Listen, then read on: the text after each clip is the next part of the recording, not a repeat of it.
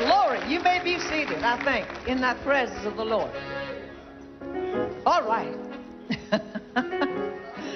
I tell you what, the Spirit's hot in here tonight, isn't it? Don't you just love it when we can just kind of just be loose in the Lord?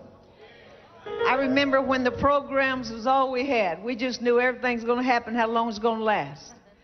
12 o'clock on Sunday, we knew it was a big Mac attack and everybody's gone, you know. But now people hang on because they're afraid they're going to miss something in the spirit. You know, I don't get in a hurry any longer because, you know, when you've laid a long time like I have, you're ready to get up, run, go somewhere. This is night before Thanksgiving, and it's one of my special times of the year. I love Christmas, I love Easter, but Thanksgiving is when you just recall all the wonderful things that God has done. Has He done something special for you? Can you just stop and think before you raise your hands? And just think this year alone, this year alone, what God has done that no man maybe knows about. Maybe only your doctor knows about it, your companion. Maybe only just you. Maybe it's a healing. Maybe it's financial. Maybe it's children coming home. Maybe it's a home coming back together. Whatever. Can you think of something? If you can, just, I don't want you to do like this. I don't want you to do like this. I want you to just lift those hands up and let's sing to the Lord. Just sing to the Lord in our own little way. Make our little things up. Just sing.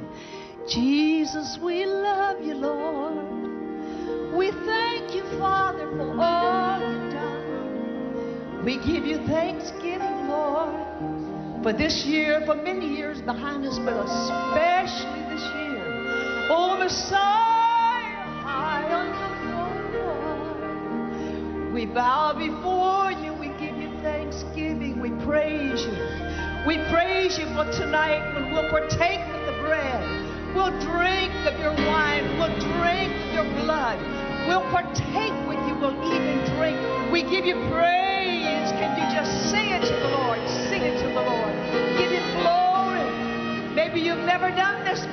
Before. Try it. It just feels so good. I see you out there. I see you on television watching in. Some of you are hurting. Some of you are broken. And you're saying, Dottie, I don't know of anything God has done for me. Oh, honey, go back in the computer.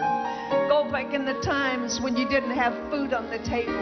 Go back to the times when you were strung out on drugs. Go back to the time when your family were scattered.